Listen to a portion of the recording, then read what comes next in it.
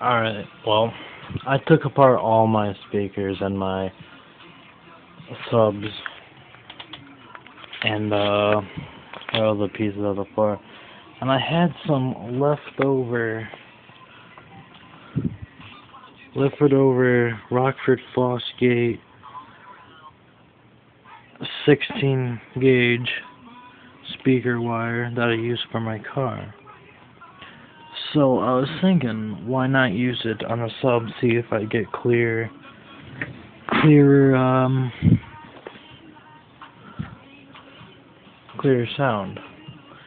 I have been plugged in to this one only because I actually just started working on this five minutes ago. And I got this one all hooked up as you can see.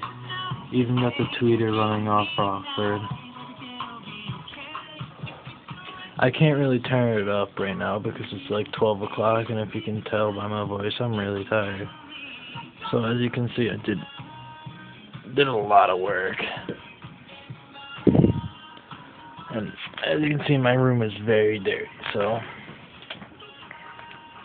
right now I just have uh I didn't do anything to this. I gotta put bigger holes in the back because the the stock wire that's on this is not right at all.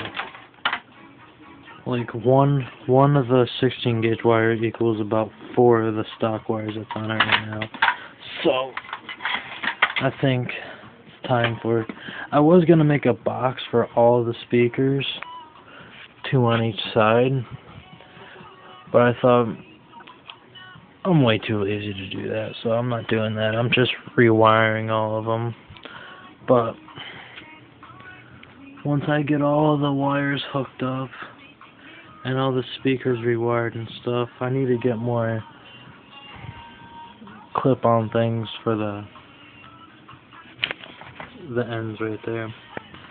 But once I get all the speakers done, I'll put up a new video. So, yeah.